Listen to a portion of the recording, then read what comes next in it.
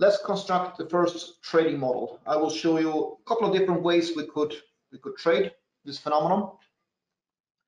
The hypothesis that we're testing here with these trading models is whether or not there is a predictive directional value in the implied yield. Uh, keep in mind that I'm not trying to show you some sort of super model that you should go and mortgage your house and uh, steal your parents' money and in go and invest in in this model. Um, this is not meant to be a production model. It's not meant to be something that you you run out on trade. It's meant to demonstrate the value of using implied yield as an input. I will show you that it works. It works quite well by itself, but of course the really interesting part might come if you experiment yourself further and see if you can combine it with whatever analytics you prefer that you use for other things as well. First model will look like this. We trade once a week. So only once a week we are, are checking data. Nothing is done between that. Which weekday doesn't particularly matter. I think I did this, uh, I think I traded on Monday morning here, but it, it shouldn't particularly matter. So once a month, Monday morning, we check the chain, the futures chain for a set of commodity markets. I picked commodity markets here because that's where we see the most uh, or the, the most interesting pattern in, in contango backwardation. In the first simple model, we are just looking at the implied yield from a contract one one year, one full year out from the closest contract compared to the closest contract. So for each each commodity market, we are just calculating this 12-month implied implied yield, nothing else. Then we rank them. We just sort the table based on this number we just calculated. I'll show you the table on the next slide. Uh, based on this, we are we are going short the lowest five in terms of implied yield, and we're going long the highest five implied yield. That's it. That's a pretty simple model. And to keep it really simple, we're doing equal sizing, which is highly unusual in futures trading because of volatility differences, but let's keep it simple. Let's not give uh, the model any sort of advantage by giving it a fancy um, allocation model, but keep it that simple. Now, the, the table that we calculate on a weekly basis will look like this. A short summary here.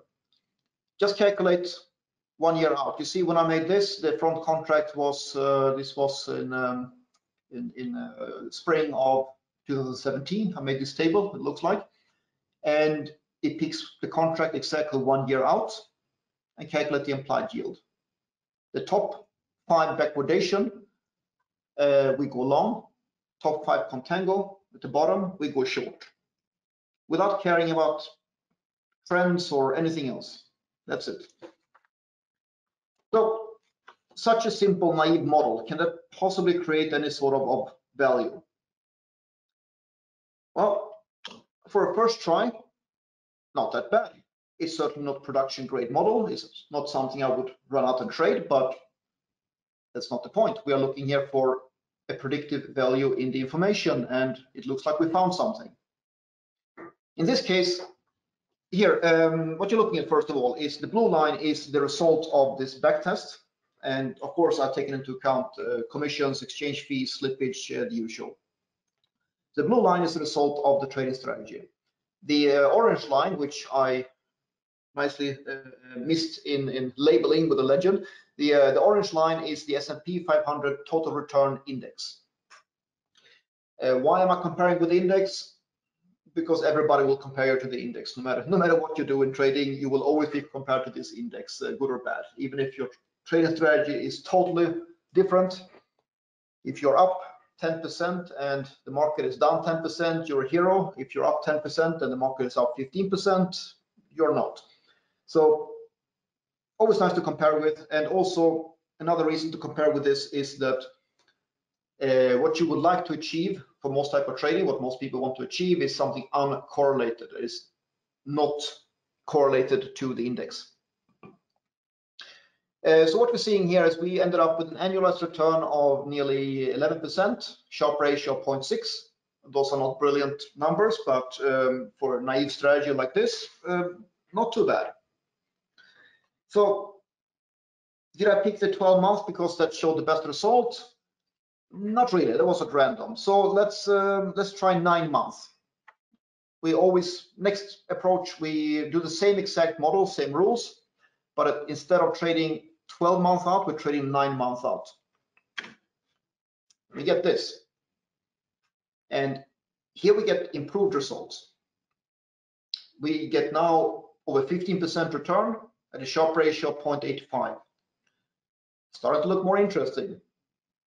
But again, we are looking for predictive value, so always nice to do some variation in input settings. I find that any sort of quantitative trading approach, which is overly sensitive to the, uh, the exact inputs, is probably not going to be too robust going forward. So let's try one more. How about if we do six months out? We always trade half a year out. Well, interestingly, the results improved even further. Now we're looking at annualized return of over 20% with a Sharpe of nearly one. If, by the way, you think that an annualized return over time of 20% is too low to bother with, then you're in the wrong business. Uh, you probably find better also the casino in that case. Uh, just like you remember, you, sh you should remember that um, some of the very best in this business, some of the, the, the true legends of this business became multi-billionaires by their ability to compound at about 20% a year. Any given year, of course, anybody can have significantly more, but if you spend 20 years compounding at 20%, you're a superstar. So, okay, so based on this, we can say that there's probably predictive value in the term structure, but maybe there's something wrong with the test. Maybe we should do some totally different way of, of testing and trading, setting up the rules. So we're doing different variation of testing the same theory. Here's, an, here's the next model. Again, we trade only weekly. Again, we start by calculating implied yield tables for each market, each commodity market every week. But in this case, we don't care about how many months out. We don't care if it's three, six, uh, 12 months out, whatever it is. We're calculating the whole way. And we are just considering the maximum value, the, the, the top, the, the, the, the uh, absolute top contango or top backwardation. We're only considering the extreme points. So only one extreme point per market is considered. And we pick the highest.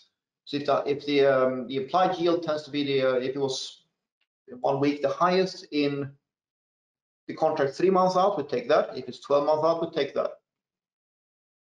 And we set a limit here on, we can only trade if it's 15% plus or minus.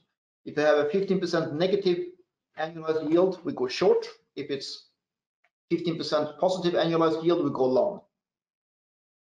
Again, there's no stops, no targets, no indicators, and no history of any kind. Just this. The table calculated would be something like this. It's very similar to what you saw before. Here is uh, the gas oil market. We calculate the implied yield for the entire curve. We find, well, you can see here there are two points that could be of interest. We have the August 2020 and the June 2020 but the June contract has a higher implied yield. So that's the only one we consider for this model. In this case, for this for this week, we would go long the June contract. And again, we hold it for one for one week. Next week, we take whatever has the highest yield done. Now the result of this, well, gets a little bit on the silly side because now we're starting to get, mostly because of 2008, we get pretty high returns. Now we have an annualized return of 30% with a Sharpe of 0.98. That's the highest numbers we saw so far. Of course, keep in mind that we are seeing volatility here of 32%, which uh, is a bit on the high side. Now, one potential problem with this approach you're looking at now is, um, since we are acquiring this 15%, and if you look in detail or if you are experienced, you look empirically, you know that 15% contango is very common. 15% backwardation is much less common. Meaning that a model like this with um, symmetric symmetric requirements is 15% on both sides, we'll probably end up having too many contango positions, too few backwardation. We have too many shorts, not enough longs. So let's balance it. Here's the same model again, same same rule. We are we're just considering the uh, the maximum implied yield on each contract, oh sorry, on each each market for each week. And the requirement is 15% minimum contango and 0% backwardation.